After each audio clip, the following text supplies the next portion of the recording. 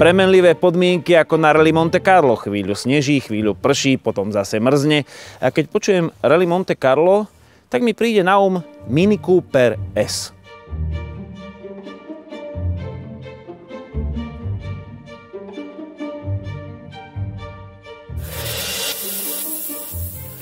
Pozeráte sa na koncentráciu toho, čo v pôvodnom Mini nikdy nebolo.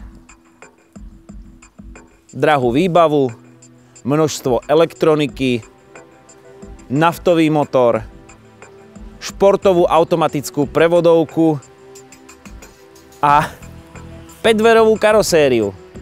Navyše toto nie je obyčajné Mini, ale Cooper SD s novým naftovým dvojlitrom.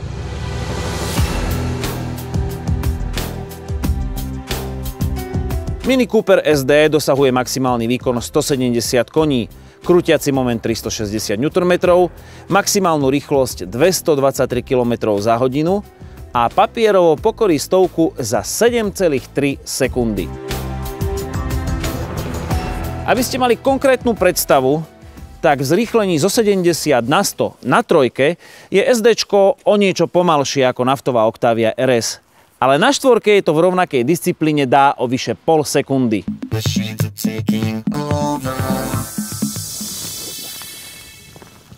Je celkom v móde lámať palicu nad mini a rozprávať o tom, že to už nie je to, čo bývalo. Áno, možno tých pacemenov bolo trochu veľa, ale ja som otvorený novým veciam. Napríklad implantovanie 5 karosérie do toho klasického mini štýlu sa mi celkom páči. A verím, že to má aj nejaké praktické výhody. Áno, je tu dvojité dno kufra, síce bez rezervy, ale batožinový priestor dosť veľký. Pozerám, že dosť veľký aj na moju amatérskú hokejovú tášku, ale viac než miesto na zadných sedadlách ma zaujíma, či sem dokáže hokejka vniknúť pod správnym uhlom a zavrieť piaté dvere. Tak sa zdá, že je to ideálne auto na môj sobotný večer.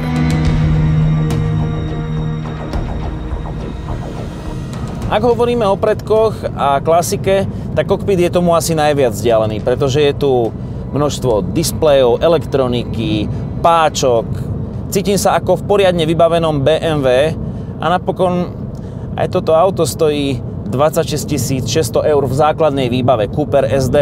Ale aby to takto vyzeralo a takto pekne svietilo, tak sa cena vyšplhá na vyše 41 tisíc a lepšie to znie v korunách.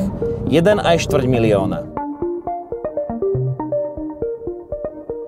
Je tu veľa páčok a tlačidiel, ale sú jednoúčelové, nie je na nich kumulovaná funkcia a to sa mi celkom páči, nemusím sa k niečomu doklikávať, ale funguje to hneď na prvýkrát. Napríklad si zapnem head-up display, ktorý je novinkou v Mini. Je, a toto je čo? To je head-up display skoro ako v Peugeote. To zobrazenie ako BMW, ale na tejto tabličke to je niečo tak odporné, že to musím vypnúť.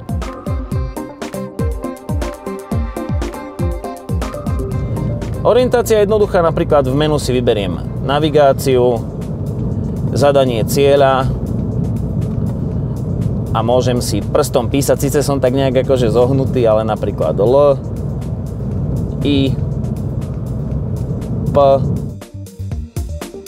Ale čo si z tohto auta na čertovici užívam najviac, to je prevodovka. Automat, navyše jeho športová príplatková verzia toto prostredníctvom navigácie sleduje terén. Jak som vyšiel na horizont na Čertovici, tak to okamžite preradilo na vyšší prevodový stupeň. A počujem, že druhá strana Čertovice je posypaná. Toto je možno taká jediná vec, ktorá nemá nádych BMW, je to ako v starej Honde Civic, že počujem ako štrk búcha oblatníky. Na druhej strane toto Mini je na míle vzdialené predchádzajúcej generácii, čo sa týka tuhosti, vypracovania a materiálov. Toto je fintička.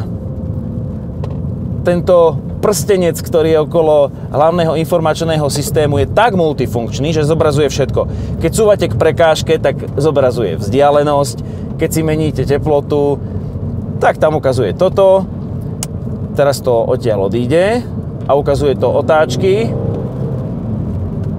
A napríklad, keď použijem multifunkčný volant a začnem si pridávať hlasitosť na autorádiu, No, tak aj Helenu počujeme hlasnejšie. A multifunkčný volant je ďalšia vec, ktorá sa mi v tomto aute páči. Tlačidlá sú výrazné, môžem pozerať pred seba na cestu a na jednej strane, ako sa to podobá na luxusné malé imidžové auto, je tu toľko riešení pre život. Počuli ste, ako to podradilo? Zľahka idem túto do dolinky nad Bocou na Čertovici. Tá prevodovka to robí tak, ako by som to chcel ja vrn, vrn si podradiť, pretože ja som dosť slabo brzdil. Takže on sa snaží brzdiť motorom, vie podľa navigácie, že je tu zákruta a toto ma baví, že to auto podobno žije a ja to cítim, no ale aby som sa dostal k tomu simply clever riešeniu.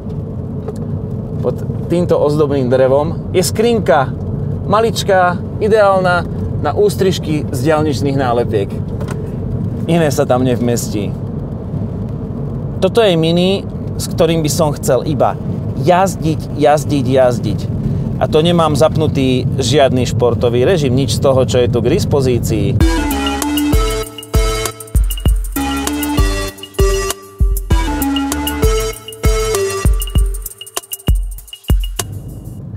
Ako tak ten nový dvojlitrový diesel má paru, ale priznám sa, že žerie aj deti okolo cesty. Mám tam spotrebu 7,6, áno, povozil som sa aj po snehu, tak e, po svojom, ale vôbec som ešte nevyužil funkciu green, to znamená takej efektívnej jazdy.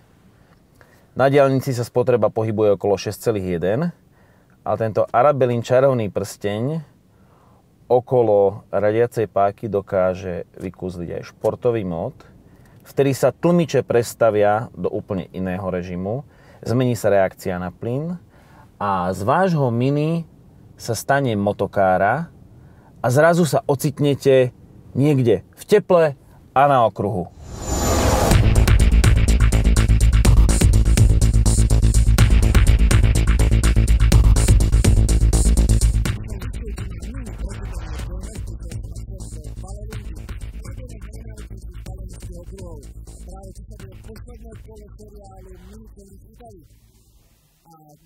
Auto je pripravené pre mňa.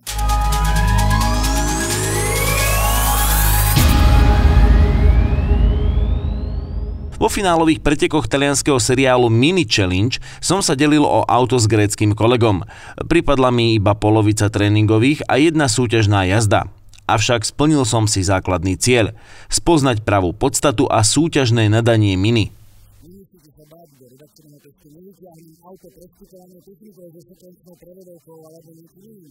Toto je Mini Cooper S, veľmi podobný tomu sériovým. Akurát má ochranu klietku, inú elektroniku motora, iné pruženie a trošku lepšie brzdy. Ináč je to všetko sériové, ESP, elektrické ekrany.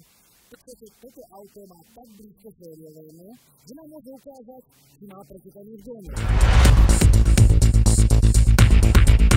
Áno, pri štarte motora si nesmiete zabudnúť vypnúť ESP a brzdiť tak, aby ste neaktivovali asistent núdzového brzdenia.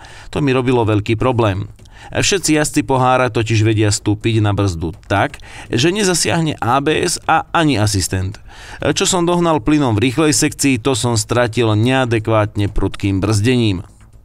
Napokon šéf týmu ma upozornil, že preteky vo Valelunge sú tie najťažšie. Proti férovosti pretekov Mini Challenge nie čo namietať. O zapečatené turbodúchadlá na začiatku sezóny sa žrebuje. Brzdové doštičky sú predpísané, prevodovka sériová a benzín tankujú nutne všetci z jedného zdroja. Dokonca nám odoberali vzorky. Nastavovať možno iba pretekárske tlmiče, geometriu a analyzovať údaje z telemetrie. Po polovičnej klasifikácii a neuspokojivom čase v druhej časti štartového poľa ma trápil dôvod straty. Počítač porovnal moje údaje s najlepším jazdcom týmu a dokonca druhým mužom celého seriálu. Nikola Kročony je majster hladkého prejazdu zákruty. Moje brzdné body sa na prekvapenie technikov zhodovali presne z jeho. Akurát som zbytočne aktivoval brzdový asistent, čo ma v strede zákruty spomalilo. Dokonca v najrychlejšej zákrute trate som ako jediný z týmu prekračoval rýchlosť 200 km za hodinu. V pomalých zákrutách som strácal šmíkaním, nie vždy ideálnou stopou a tak som zistil, že trochu čistého okruhového jazdenia by mi nezaškodilo. Napokon vysvetlo, že hostovské promo auto má geometriu nastavenú na nedotáčavé správanie. Nevedia totiž, kto sadne za volant a vratký zadok by mohol byť nebezpečný. A to sme videli na vlastné oči v pretekoch. V jednej jazde som zažil zaspatý štart, safety car, nejaké predbiehacie manévre a nechtiac som si na chvíľku vypol motor. Po naštartovaní ostalo aktivované ESP a tak mi po prvej jazde pripadlo 7 miesto z 11 na štarte. Po tejto skúsenosti mi je jasné, že mini má pretekanie v génoch, alebo lepšie povedané v podvozku. S minimálne upraveným autom sa na okruhu netrápite, ale zabávate a inak to nebolo ani s novým pedverovým Mini SD. Pôvodný zámer vyskúšať s novinkou našu rýchlostnú skúšku nám prekazilo počasie a okrem toho na ploche nebolo celkom prázdno. Zišla sa tu naftová šprinterská svorka z Liptova a Mini, keďže malo naftu, muselo čeliť výzvam. Na spoznávaní Mini som si dal v uplynulom období záležať a hejterom odkazujem, že Mini ostalo Mini, hoci sa trošku inak tvári. Kombinácia motora a prevodovky dokáže vykúzliť neskutočnú radosť za volantom a pritom je Mini 5-dverové prémiové malé auto na každý deň. Mini tretej generácie urobilo proti dvojke obrovský skok dopredu. Je to úplne iné auto, hoci sa to na pohľad nezdá, ale má 5 dverí. Zároveň je to jedno z mála aut vôbec, ktoré dávajú veľký priestor fantázii. Každý v ňom vidí to, čo chce. Niekto imidžovú hračku, ja auto, ktoré ma jazdecky naplňa. Hoci niektoré s rovnakými schopnosťami na ceste stoja polovičné peniaze. Tu je však technika naviac a mám pocit, že teraz je to asi prvýkrát tak hodné svojich peňazí, hoci žiaľ nemôžem si to kúpiť, ale chcel by som ho mať v garáži.